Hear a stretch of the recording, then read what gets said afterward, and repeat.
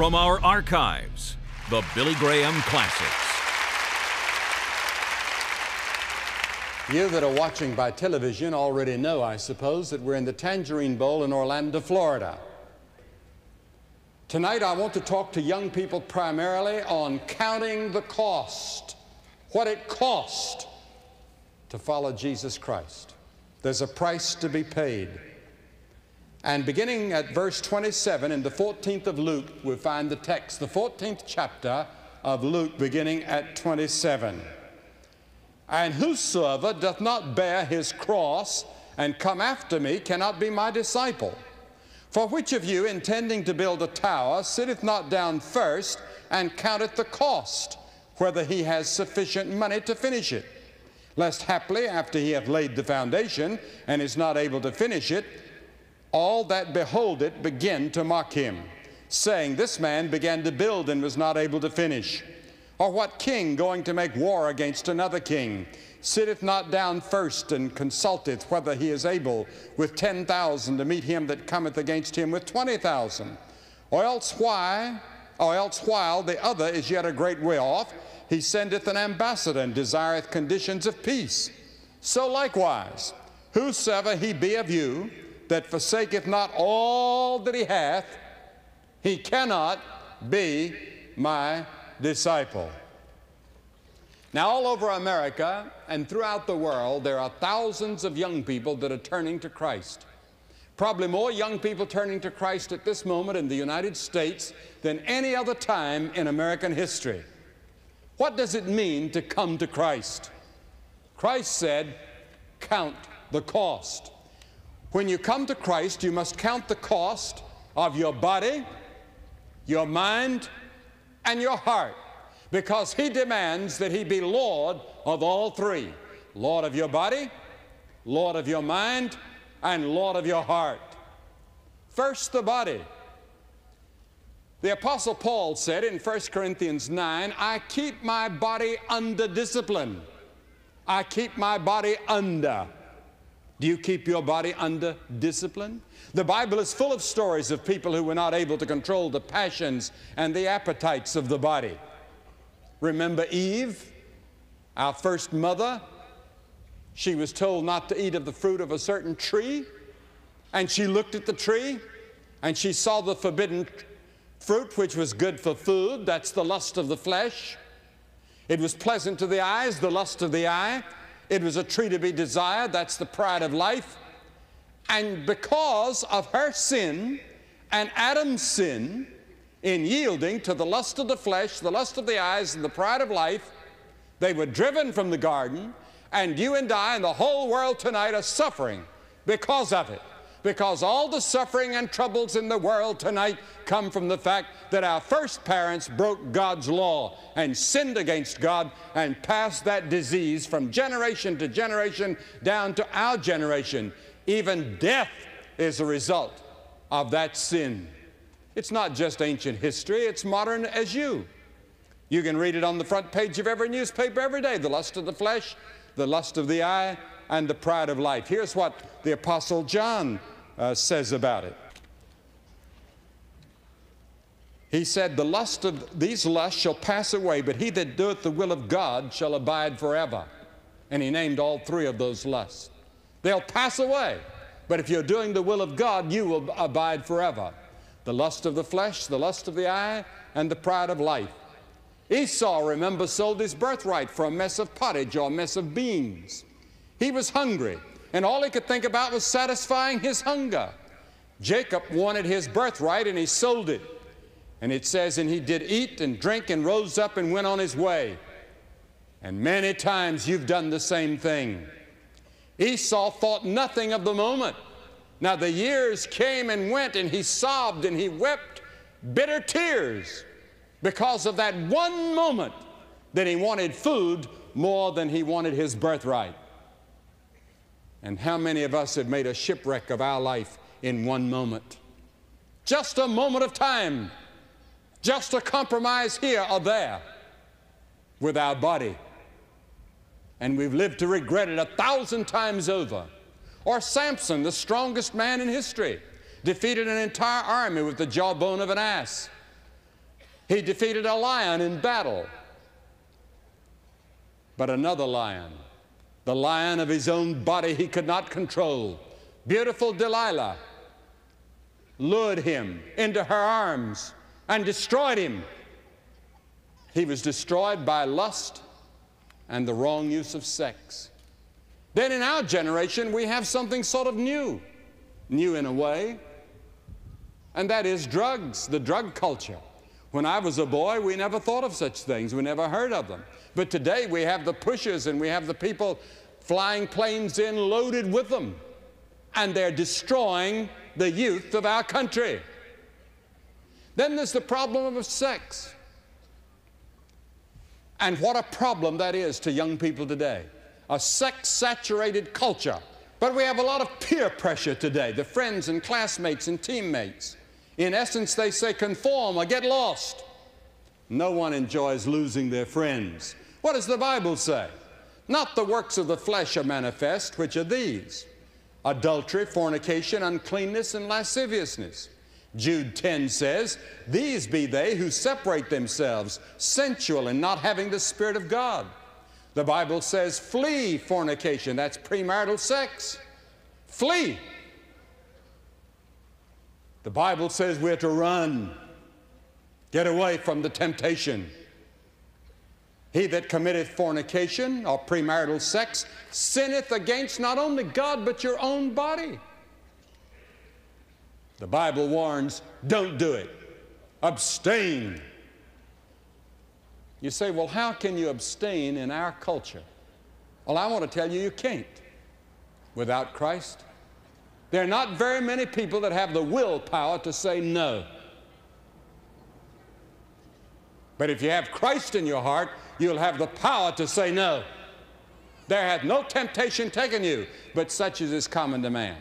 But God is faithful, who will not allow you to be tempted above that which you're able, but will with the temptation make a way to escape.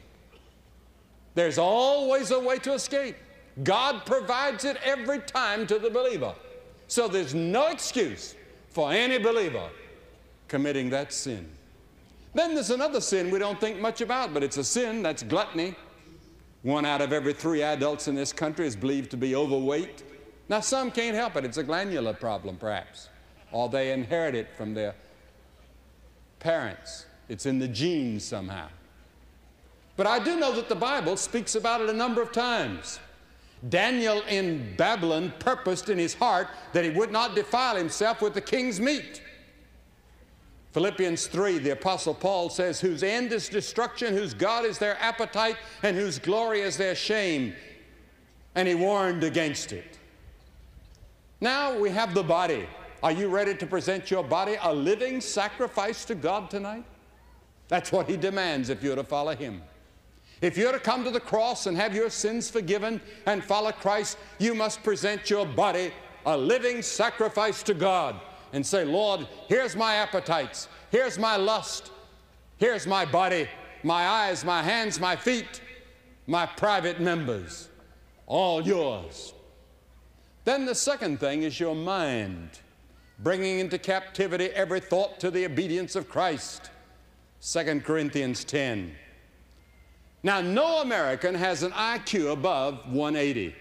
Only a dozen have about 180. Only 3,000 have 170. 5,160, 15,150, and a million 140, and so on down. But God is going to hold you accountable for the mind He has given you, whatever your IQ. Somebody said a penny for your thoughts but your thoughts are worth far more than a penny in God's sight. The true wealth of your life is in your thoughts. How rich are you? The literature, the television, the radio are competing for your thoughts constantly. There was a classified ad in a newspaper which read, For sale, Encyclopedia Britannica, never used. My wife knows it all.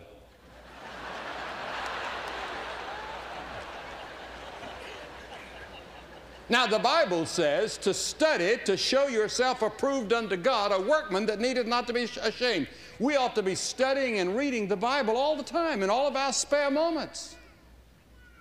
And I'm convicted sometimes when I turn the TV on and watching some program that I can't even remember, and there's the Bible lying closed beside my bed or beside my chair. Because I know it's wrong and I have to confess it. I'm to study constantly all my life the Word of God. You see, an idle mind is the devil's workshop. Give your mind to Christ. The scripture says, He that ruleth his spirit is greater than he that taketh a city. Your mind is a heaven or a hell all the time. Which is it? When you come to Christ, you must bring your mind to Him. There's a lot in the scripture to say about the mind. He's to be Lord of the mind. And Paul wrote to the Philippians and said, Whatsoever things are true, whatsoever things are honest, whatsoever things are just, whatsoever things are pure, whatsoever things are lovely, whatsoever things are of good report, if there be any virtue, if there be any praise, think on these things. That's what you're to be thinking about. Pure, lovely, righteous, God. That will keep him in perfect peace whose mind is stayed on thee. Keep our minds on Christ. Many minds here tonight are filled with pride and anger and envy, jealousy, lust. The remedy is to let Christ take control of the mind and bring every thought into his captivity. Paul taught, We have the mind of Christ and exhorted, Let this mind be in you which was also in Christ Jesus. Thou shalt love the Lord thy God with all thy mind. Evil thoughts are the suicide of the soul.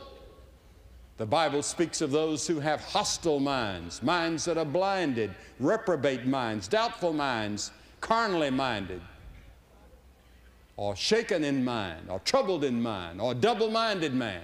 Some have blown their minds on drugs. The Bible promises that we can be transformed by the renewing of our minds. You can have your mind tonight transformed. You can have it renewed and surrendered to Christ, and the peace of God will keep your mind. Habakkuk promises, then shall his mind change. The Lord has actually asked you to change your mind. Uh, see, He doesn't ask you to change your heart.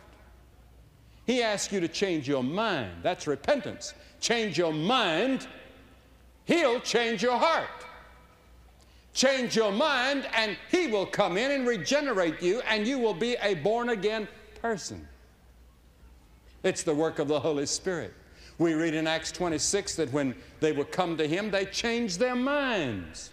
It will change when you have the humility of mind and the readiness of mind, the willingness of mind to give your whole life to Christ. Paul told the Corinthians that there must be of a willing mind. Are you willing that your mind be surrendered to Christ tonight? Let Him control your thinking processes, control the things you read, the things you watch, the things you do. Then the third, the body, the mind, the heart. The Bible says in Proverbs 6 that you have a heart that deviseth wicked imaginations. Jeremiah 17 says, The heart is deceitful above all things and desperately wicked. Who can know it? I have a deceitful heart. I can't trust my heart. My heart was sick till I came to Christ. Jesus said, For within, out of the heart of men proceed evil thoughts and adulteries and fornications and murders and thefts and covetousness and wickedness and deceit and lasciviousness and blasphemy and pride and foolishness. All these evil things, he said, defile a man. You don't have to appoint a new committee to find out what's wrong with the world. It's the human heart and the human mind and the human body. It's man. Man is what is wrong. The human heart is a volcano, and the Bible teaches that it's far from God. This people draweth nigh unto me with their mouth and honoreth me with their lips, but their heart is far from me. I want you to think about that a moment. You draw close to Christ with your lips, with your profession, with your mouth, but your heart is far from Him. Singing on Sunday morning, all hail the power of Jesus' name, and you're thinking about a deal that you've got on Monday. You see, you're singing the songs of Zion, but your heart is still somewhere else. Is that true of you? how many of us are really hypocrites? If you want to just call it what it really is and what Jesus called it. Because Jesus' great fight was with the religious leaders of his day. He didn't fight with the sinners, he loved them. It was with religious people. And I wonder if he came to Central Florida tonight, what he would say, who he would talk to. Would he talk to church people and say, Oh, yes, you go to church and you have a lot of religiosity, but you don't have the real thing. Your body, your mind, your heart doesn't really belong to me a 100%. He demands a 100%. The Bible teaches that you have a rebellious heart. In Jeremiah 5, it says, But this people have a revolting and a rebellious heart. They're revolted and gone. When we read the Ten Commandments and read the Sermon on the Mount, we say, I don't want to keep that. I can't keep that. Of course, you can't. Nobody in this audience can keep the Ten Commandments. In fact, you can't even keep one commandment. Nobody in this audience has kept even one commandment. You say, Well, Billy, I've never committed adultery. Haven't you? Jesus said, if you look on a woman or a person of the opposite sex and have lust in your heart, you've already committed it. I've never killed anybody, but if you ever hated or been jealous of someone, you've broken that commandment. Then, but then the scripture says, suppose you have done pretty well with all of them. If you break just one commandment, tell one little lie, you've broken all the commandments. And to break the commandments is the definition of sin. Sin is a transgression of the law. And you have broken the law of God.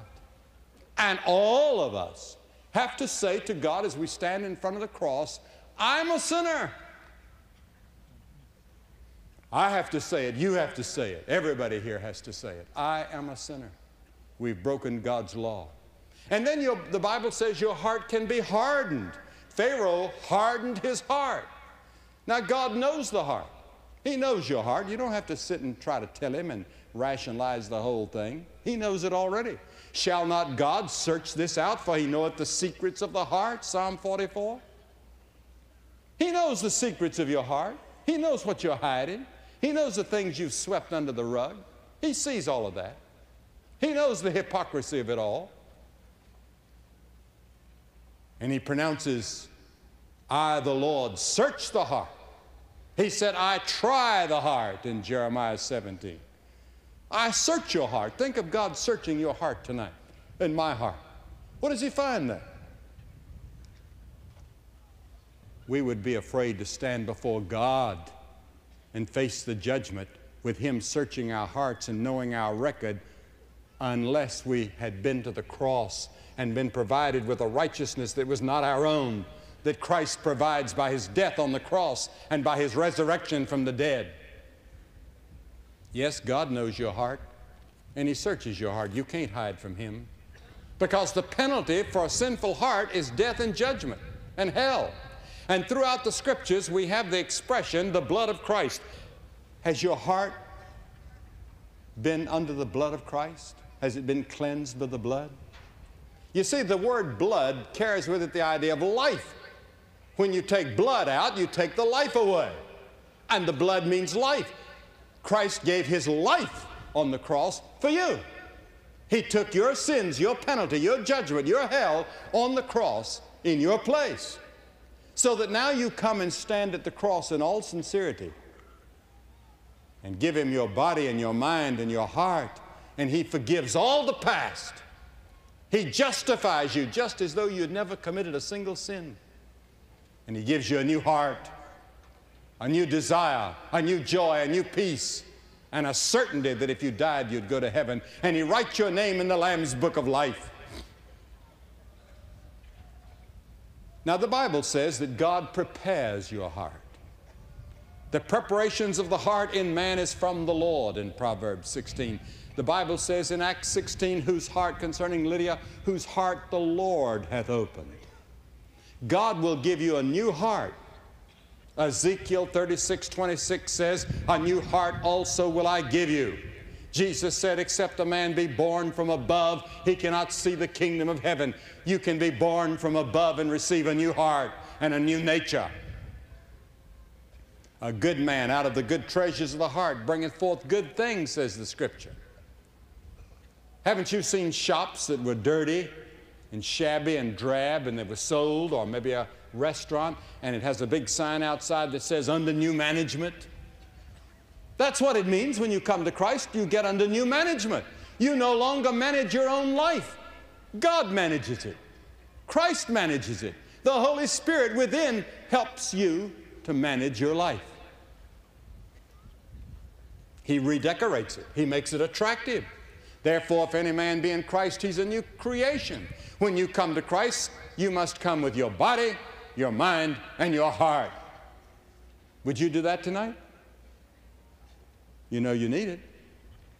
And the Bible says, He that hardeneth his heart, being often reproved, shall suddenly be cut off, and that without remedy. The Bible says, Now is the accepted time. Today is the day of salvation. Don't wait. There's no promise of tomorrow in the Bible. I'm going to ask you to come publicly in just a moment and stand in front of this platform quietly and reverently for just a few moments. And I will say a word to you. We'll have a prayer.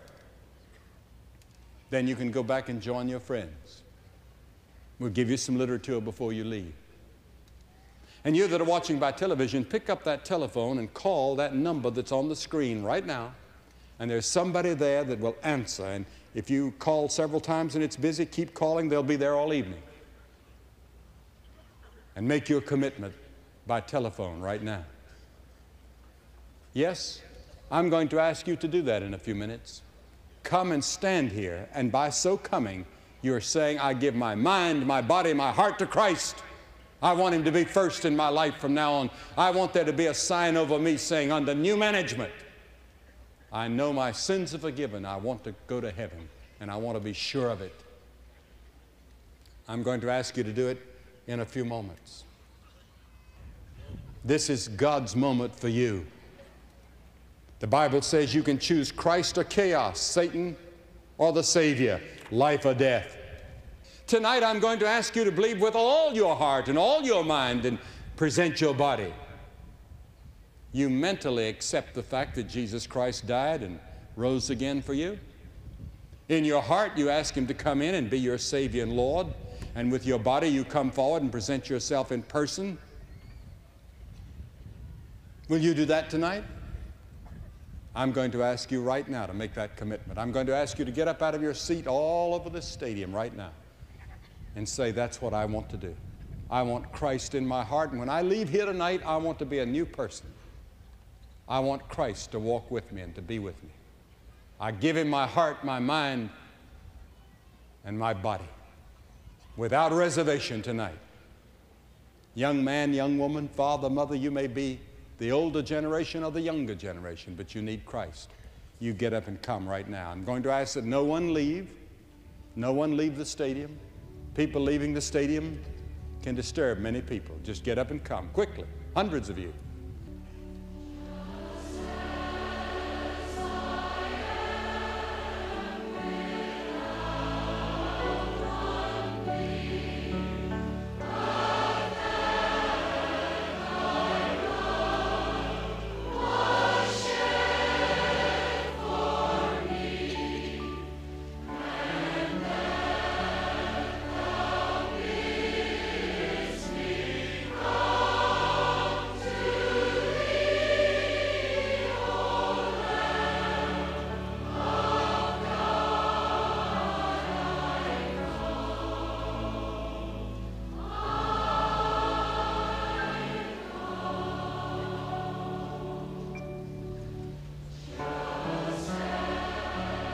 As you can see, many hundreds of people are making their commitment to Jesus Christ tonight here at the Tangerine Bowl. You can make that same commitment yourself. Simply call the number on the screen. Trained counselors are standing by to help and pray with you. If the lines are busy, write the number down and call later. Our counselors will be there as long as the phone calls keep coming in. God bless you.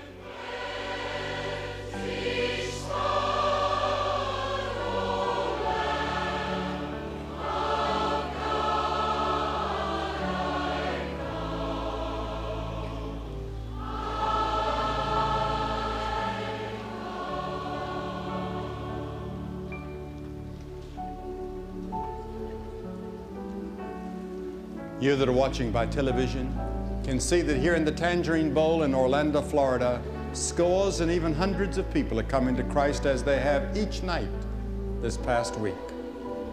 You can make that commitment where you are, right now, quietly in your heart and mind. You can present your body and your heart and your mind to Christ. If you will, pick up the telephone and call someone that on that screen you'll see a telephone number and talk to someone. God help you to make that commitment and be sure and go to church next Sunday. If you just prayed that prayer uh, with my Father, or if you have any questions about a relationship with Jesus Christ, I would just call that number that is on the screen. There'll be someone there to talk with you, pray with you, and answer those questions. And remember, God loves you. If you would like to commit your life to Jesus Christ, please call us right now toll free at 1 877 772 4559. That's 1 877 772 4559. Or you can write to us at Billy Graham, 1 Billy Graham Parkway, Department C, Charlotte, North Carolina 28201. Or you can contact us on the web 24 7 at peacewithgod.tv. We'll get the same helps to you that we give to everyone who responds at the invitation. On behalf of Franklin Graham and the Billy Graham Evangelistic Association, thank you for watching and thank you for your prayers.